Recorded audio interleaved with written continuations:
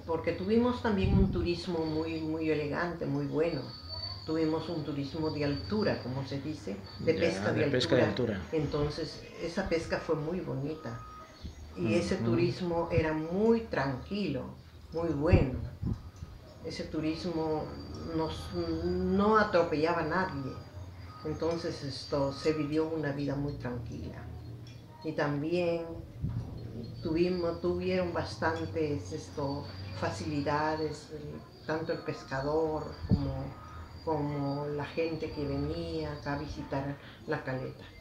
¿Usted recuerda algún personaje importante de aquellos que llegaban antes? Sí. ¿A quién? Eh, el señor Hemingway, ¿Ya usted lo recuerda? sí, el señor Alfredo Gracel, el fin- señor Farrington, el señor Dupont, el señor Flanagan, eran esto, eran extranjeros muy, muy importantes y, y esto, y, y no, no se metían con nadie, ellos no era- eran personajes. Y además se comunicaban mucho con la población, Sí. ¿no? Sí, se comunicaban mucho y con los niños, mucha estimación a los niños. Ellos en tiempo de Navidad, en tiempo de, de así, de hacerle sus regalos a los niños, ellos les traían sus regalos a, a- para, en todo momento.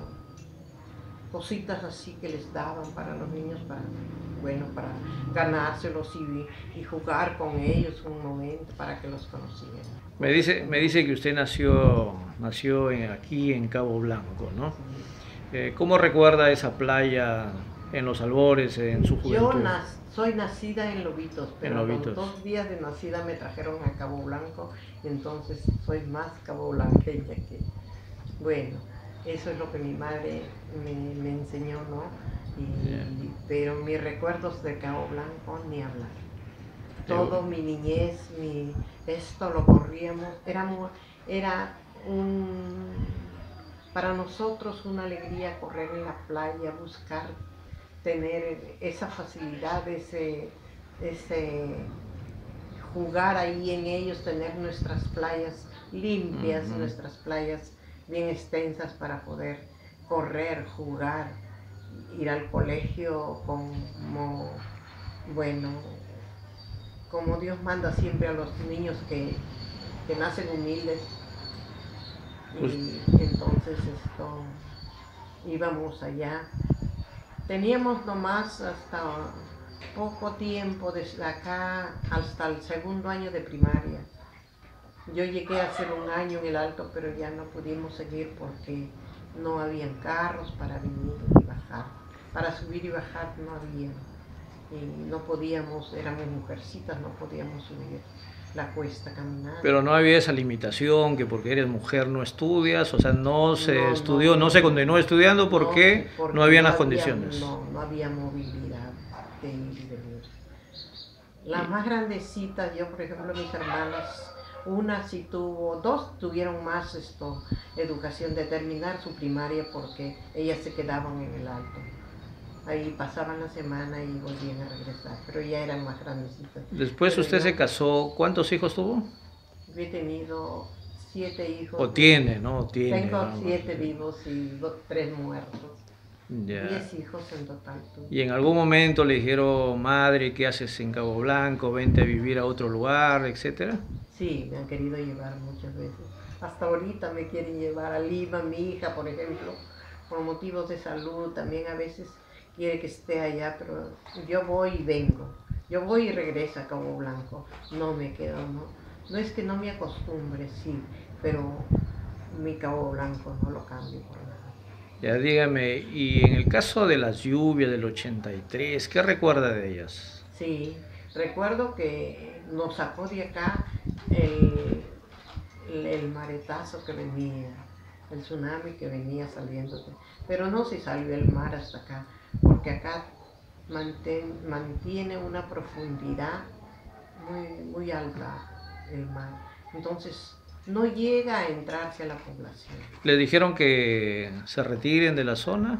Sí, nos sacaron de la zona porque por la lluvia, porque Ya. acá esto el mar, el, el agua que venía del alto, todo lo que caía se metía por los, por los cerros, por las quebradas y entonces venía y, y agarraba fuerza acá la bajada, ya donde se juntaban todas las quebradas chicas y se venían por un solo nomás, por dos que hay acá donde están las alcantarillas. Y lo mismo sucedió en el 97 y 98. Sí, lo mismo también, ese mismo, pero ya fueron menos, no fueron como el 83. Y estas canalizaciones que se observan, estos eh, canales que se han hecho, eh, ¿los ha ayudado a protegerse después? Sí, nos ayudó bastante, sí.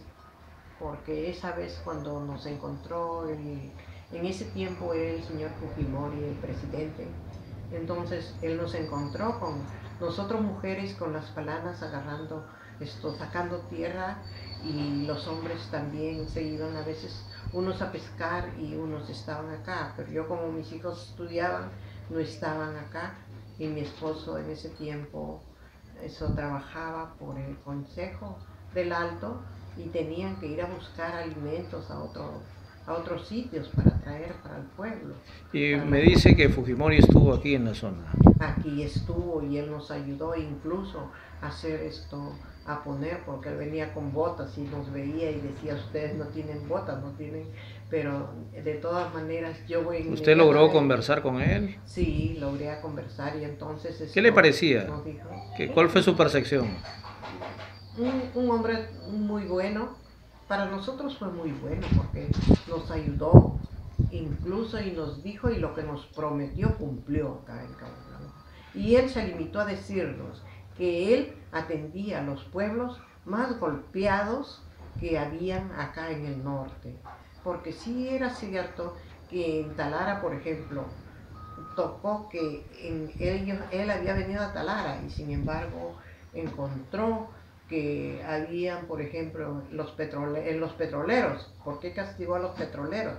Porque habían esto, eh, tenían, eran los supervisores, por ejemplo, dos, tres carros, dos, tres casas con mujer, cada casa su mujer. Entonces, dice, entonces, no sufren hambre, no sufren necesidades. Sin embargo, los hermanos de muy cerca que estaban, estábamos sufriendo con el agua el lodo y todo encima, las piedras que nos venían, que venían pasando por los canales ahí y, nadie nos ayudaba, no nos daban una ayuda. Y me dice que lee con mucha facilidad sus 76 años, ¿no? Sí, yo a los 77 años. 77 años. Leo con bastante facilidad, porque también mi alimentación fue muy, muy buena. Su alimentación era fundamentalmente de recursos hidrobiológicos. ¿eh? Sí, Mero, cabrilla, pulpo. pulpo, langostas, de todo, mariscos comíamos. Y me imagino que lo sabe preparar también bastante bien, ¿no? De todo, sabemos preparar nosotros aquí. Cuando vienen sus hijos, ¿qué le dicen? ¿Prepara tal plato? Por ejemplo, mis hijos cuando se iban a, trabajar, porque ellos también eran estudiantes, todos han estudiado, ahora son profesionales, y entonces dicen, mamita, ya no hay el tiempo que en antes teníamos la facilidad de ir a pescar y nos traíamos y en cada, en la mesa se sentaban a comer una langosta en cada plato, una, un esto, una, un, eh, plato hondo de lleno de su chupe langostos y, ya pues a comer, se decía, a comer bueno, aunque somos pobres, pero estamos comiendo como ricos, ¿no? Le escuchaba decir algo que quisiera que la playa, por ejemplo, de Cabo Blanco, esté mejor presentable. ¿Qué recuerdos o qué opinión tiene de los alcaldes del Alto de los últimos tiempos? De los últimos tiempos un poquito se descuidan, por ejemplo, por decir, el, la, la antecesora de este alcalde que hay ahora, esto dejó malograr la planta de salinadora de agua.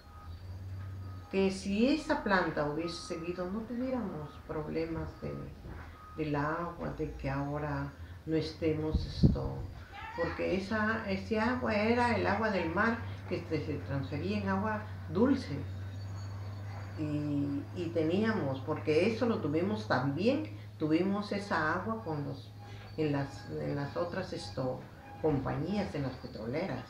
Teníamos una planta de agua muy grande, la mejor, la más envidiada de todos los pueblos del Perú. Sí, después de aquella oportunidad ya tenían dificultades con Claro. el agua, ¿no? Tuvimos bastante dificultad. Ahora nos dan una, dos veces por semana, ahora ya nos dan el agua. Pero en antes era pues cada ocho días, cada diez días. Y con la planta se soluciona ese problema y planta se nuevamente, nuevamente se abastece todos los días, ¿no? Claro, que abasteciera, pero ah, ahora no.